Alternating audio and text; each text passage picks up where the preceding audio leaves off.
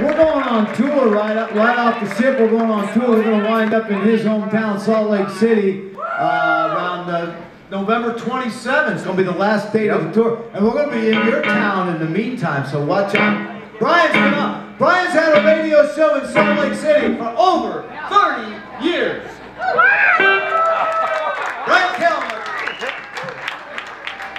The most extraordinary, truth-telling, astute bass player in the world, Randy McDonald.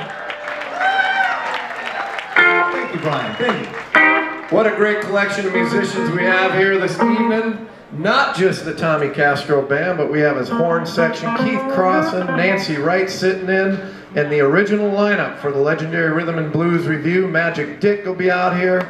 Deanna Bogart blowing her brains out and playing keyboards. Ronnie Baker Brooks closing out the show, and who knows what else.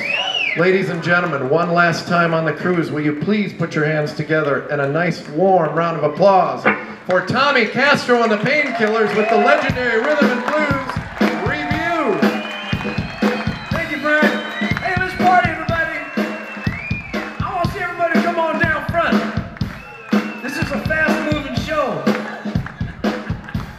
need to get right down front so you really know what's going on.